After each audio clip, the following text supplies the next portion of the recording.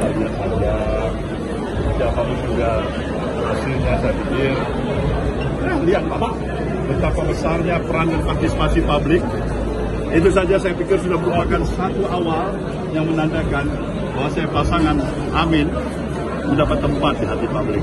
Mas sudah dulu membayangkan nggak ketika pertama kali mencalonkan Pak Anies dengan Caimin waktu itu membayangkan nggak bahwa Anies akan seperti ini? Sejujurnya saya sudah membayangkan itu. Sejujurnya.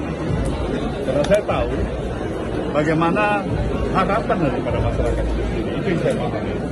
Itulah kenapa saya berupaya ya untuk tetap bersikuku agar ya, katakanlah dua tokoh anak bangsa ini yang kita harapkan akan mampu mengatasi kompleksitas persoalan kehidupan dimiliki dalam kapasitas dan kapabilitasnya seorang Anies Baswedan dapat berjalan.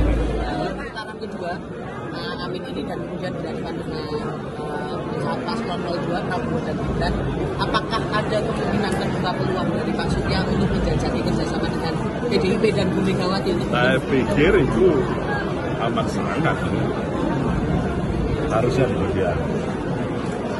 Dan saya dia itu adalah bisa juga disadari oleh semua para pihak karena begitu besarnya permasalahan yang kita hadapi untuk bisa menjalankan ya kan roda administrasi pemerintahan ya kan yang membutuhkan stabilitas nasional tetap terjaga. Tapi komunikasi dengan Bu Mega sampai saat ini bagaimana Pak? Ah, memang sekarang ini masih masih, masih tapi Bang Surya sama Bu Mega sama-sama kuat untuk menjaga uh, Demokrasi. Saya pikir semangatnya sama, ya.